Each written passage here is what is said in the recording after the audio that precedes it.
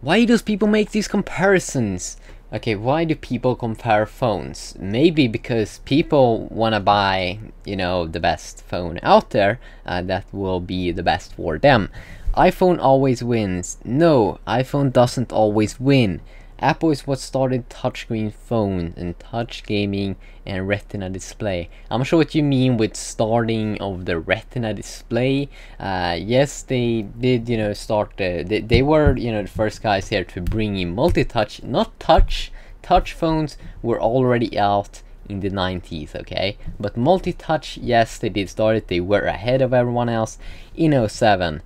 Um, and touch gaming um, yeah let's just let's just keep it this to multi-touch and retina display. I mean i'm not sure if you do know but there's other technologies out there. The big thing with retina display though is that it have extremely high ppi like 30 pixels per inch that you won't even see.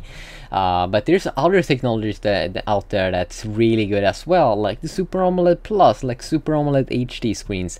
Um, so i'm not sure what you mean with started the retina displays. Everyone using retina display right now no.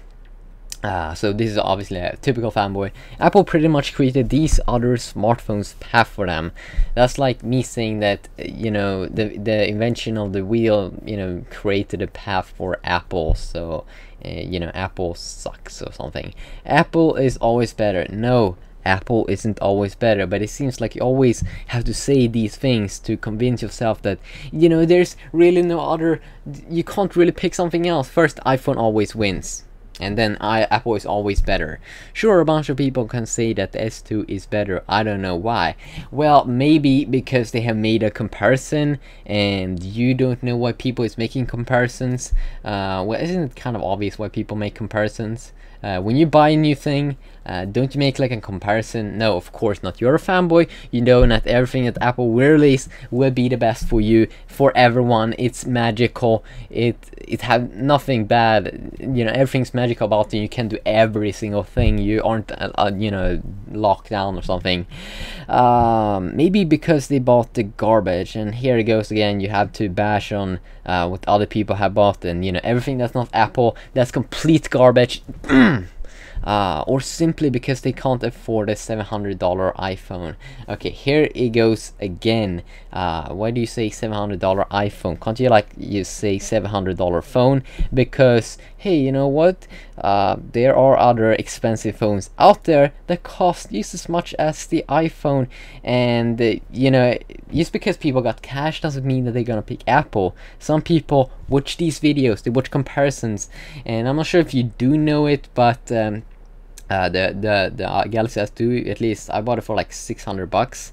Uh, and uh, okay so it, it, it is a little less but uh, it wasn't like I couldn't afford the iPhone. I made it I made I watched comparison videos that you still don't know why people make comparison videos.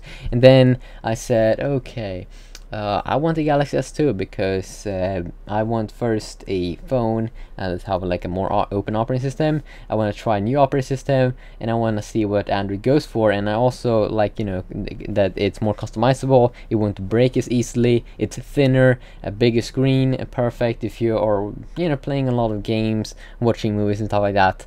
And okay, costs 600 bucks. You pay a little more for the Apple um, you know the Apple logo on an iPhone and also that glass that will shatter if you drop it just once.